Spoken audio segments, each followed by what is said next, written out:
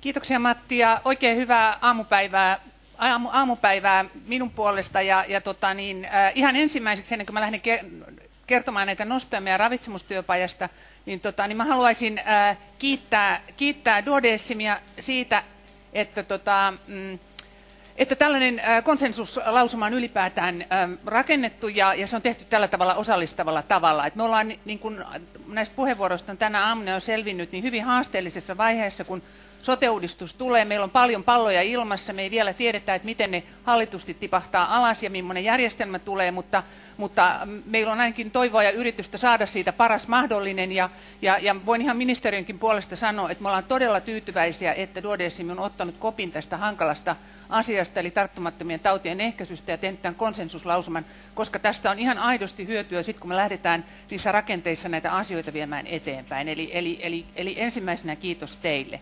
Mutta sitten mä haluan myös kiittää, kiittää, kun nyt saisi tätä eteenpäin. Nyt voitko auttaa mulle seuraavan dian? kiittää, no mä jatkan, jatkan kun dia menee eteenpäin, niin kiittää meidän tota, työpajojen osallistujia, osallistujia. Eli tota, meillähän, meillähän oli lokakuussa tämä ravitsemustyöpaja, jossa oli mukana 28 asiantuntijaa. Ja, ja tota, meillä oli aivan loistava porukka, erinomaiset asiantuntijasihteerit ja alustajat. Ja, ja tota, lähdettiin rakentaa ensin visiota siitä, että mikä, mikä se ideaalitilanteessa se meidän ravitsemus vuonna 2025 olisi, mietitään, mietittiin sitä, miten se voi tavoittaa ja lähtiin rakentamaan tiekarttoja tulevaisuuteen koska se, mistä me oltiin yksimielisiä, on se, että, että ravitsemuksen mahdollisuudet meidän sotejärjestelmässä on hyvin pitkälti niin kuin alihyödynnettyjä. Me voitaisiin tehdä asioita paljon enemmän ja me voitaisiin tehdä asioita paljon paremmin. Ja tästä pienryhmätyöskentelyssä me mietittiin väestönäkökulmaa elinkaaren eri vaiheissa. Me mietittiin, mitä tehdä riskiryhmille ja jo sairastuneille, ja, ja, ja katsottiin asioita sekä niin kuin sote-järjestelmän sisältä tai so, sosiaali- ja terveydenhuollon sisältä, että sitten pohdittiin myös sosiaali- ja terveyspolitiikkaa, vaikka fokus tässä koko ajan kuitenkin oli niin kuin sote-puolella, eli ei lähdetty hirveän laajalti sinne elinkeinopolitiikkaan ja muualle. Ja sitten ne nostot, mitä meidän työpajassa nousi esiin, kun me mietittiin, että miten vahvistaa terveyttä ravitsemuksen avulla. Ihan ensimmäisenä haluan nostaa tämän, tämän yleisen äm, viisauden siitä, että, että, että me nähdään, että ravitsemus pitäisi huomattavasti vahvemmin huomioida eri hallinnonalojen toimissa sekä valtionhallinnossa että sit siellä paikallistasolla hyvinvointijohtamisen Mm, osana hyvinvointijohtamista. Valtakunnan tasolla se tarkoittaa esimerkiksi sitä, että ravitsemuspolitiikkaa tehdään erittäin paljon eri ministeriöissä, valtiovarainministeriössä, sosiaali- ja terveysministeriön lisäksi maa- ja metsätalousministeriössä, opetus- ja kulttuuriministeriössä. Meidän pitäisi saada paremmin nämä ravitsemusasiat sisään, kun me mietitään esimerkiksi veropolitiikkaa tai koulutusta tai lainsäädäntöä.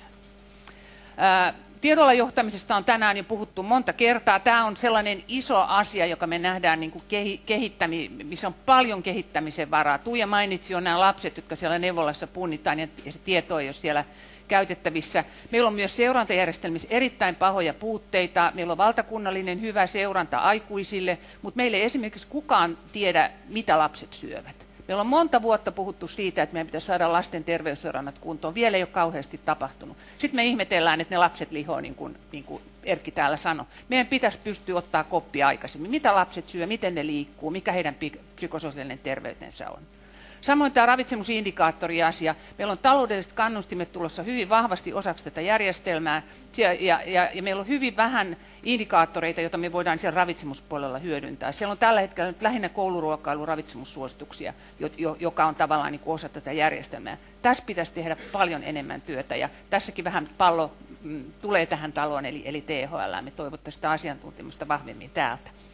Palvelutarjonnan pitä, pitäisi saada kuntoon, kuntoon eli, eli tota, ravitsemushoidon saatavuudessa ja ohjauksessa on erittäin isoja puutteita. Meillä ei palveluketjut vielä kaikilta osin toimia uudessa sote-järjestelmässä, niin pitää miettiä uudeksi. Kirjaamiskäytössä on paljon puutteita, niitä ravitsemusohjausta ja neuvontaa ei usein sinne järjestelmiin kirjata, jolloin se ei ole näkyvää, sitä ei pystytä seuraamaan eikä sitä tehdä, kun ei ymmärretä välttämättä sen tarkoitusta. Laatukriteerejä pitäisi kehittää, eli Eli, eli, eli täällä on monennäköistä ikään kuin asiaa, jo, jo, jolla näitä asioita voisi paremmin viedä eteenpäin. Me myös kaivataan parempaa riskien seulontaa, seulontaa ja ehkäisyä ja erityisesti sitä varhaista tukea. Millä tunnistaa paremmin ne, ne, ne henkilöt, joiden ravitsemus on menossa huonoon suuntaan, jotta me pystyttäisiin auttamaan heitä mahdollisimman aikaisissa vaiheissa, jolloin se on vielä usein helpompaa kuin sitten siinä vaiheessa, kun niitä ongelmia jo on. Sitten me kaivataan kovasti sitä, että meillä pitäisi olla tämmöisiä valtakunnallisia portaaleja terveelliseen syömiseen, ruokavalion seurantaan ja, ja samoin digipalveluilla kehittää omahoitoa ja seurantaa. Ja digipalvelujen kehittäminen ei tarkoita sitä, että, että muita palveluja olisi. Se on lisä tähän kokonaisuuteen. Vähän se ajatuksella, että kun me saataisiin hyvät digipalvelut, hyvää tukea omahoidolle, niin terveydenhuoltojärjestelmäkin pystyisi paremmin kohdintaa sitten resursseja niissä henkilökohtaisissa vuorovaikutuksissa niihin, jotka sitä tukea tarvii. Eli tavallaan se tulisi avuksi tähän, tähän oh, no niin, nyt mennään väärään suuntaan, koko settiin. Ää, sitten neljä viimeistä pointtia, jotka mä haluan nostaa tässä esiin, on, on tämä koulutusasia, eli, eli soteammattilaisten ravitsemusosaamisen ja elintapaosaamisen vahvistaminen sekä peruskoulutuksessa että täydennyskoulutuksessa. Ää, ravitsemusasiat pitäisi olla handussa paremmin kaikilla sotepuolen ammattilaisilla. Meillä on toki siellä ravitsemusterapeutteja ja ravitsemusammattilaisia, mutta heitä on vain kourallinen ja kaikkien pitäisi pystyä ymmärtämään näitä asioita paremmin ja ymmärtää se oma roolinsa tässä, tässä palasessa. On sitten kyse lääkäri tai hoitaja tai joku muu soteammattilainen. Sitten iso asia on, on, on, on tässä tulevassa järjestelmässä se, että et miten varmistetaan se maakunnan asiantuntijatuki kunnille, kun sote-palvelut siirtyy sinne maakuntiin ja todennäköisesti iso osa ravitsemusasiantuntijoista vasta jatkossa on siellä maakunnissa. Meillä on kuitenkin asioita, jotka säilyy kunnissa, kuten päiväkotiruokailu ja kouluruokailu, se koko ympäristö, miten se tukee ravitsemusta, kuntien hyvinvointikertomukset, tämän tyyppiset asiat. Eli, eli, eli tavallaan tämä pitää saada siinä tulevassa järjestelmässä pelittämään.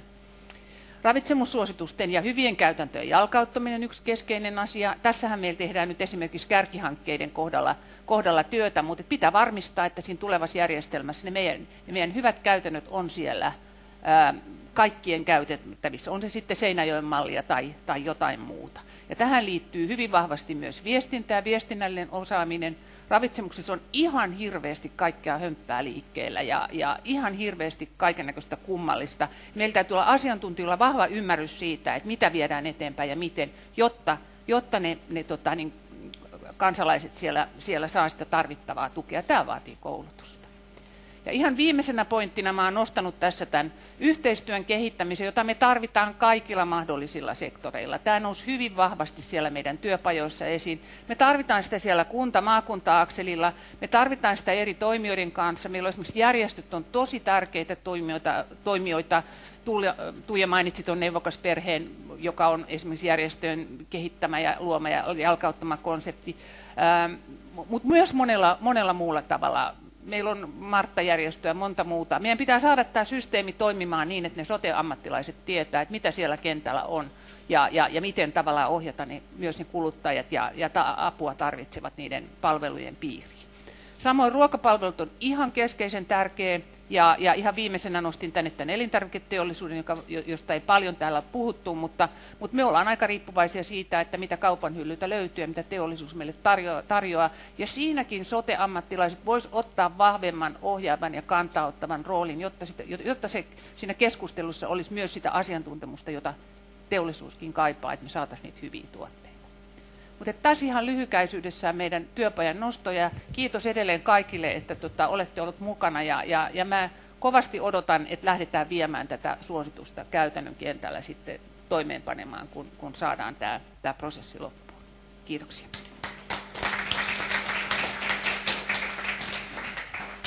Kiitos. Mennään aika vauhdilla, mutta